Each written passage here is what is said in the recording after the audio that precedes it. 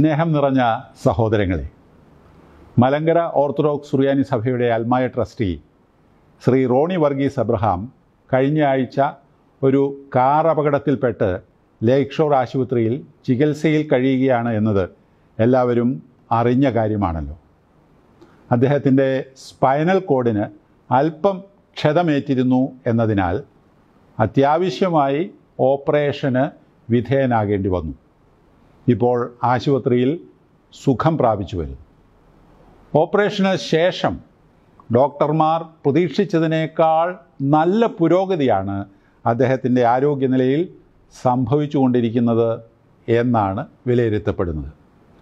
Operation കഴിഞ്ഞ് ഇരുപത്തിനാല് മണിക്കൂർ തികയുന്നതിന് മുമ്പ് തന്നെ പുരോഗതി കണ്ടു തുടങ്ങിയിരുന്നു എന്നത് വളരെ ഗുണകരമായ അവസ്ഥയായിട്ട് ഡോക്ടർമാർ അഭിപ്രായപ്പെടുന്നു.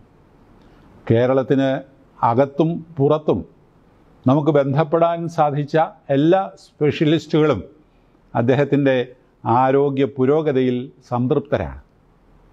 അദ്ദേഹത്തിന് ഇപ്പോൾ ആവശ്യമായിരിക്കുന്നത് വിശ്രമവും ഫിസിയോതെറാപ്പിയുമാണ്. ഫിസിയോതെറാപ്പി ആശുപത്രിയിൽ നിന്ന് നൽകുന്നുണ്ട്.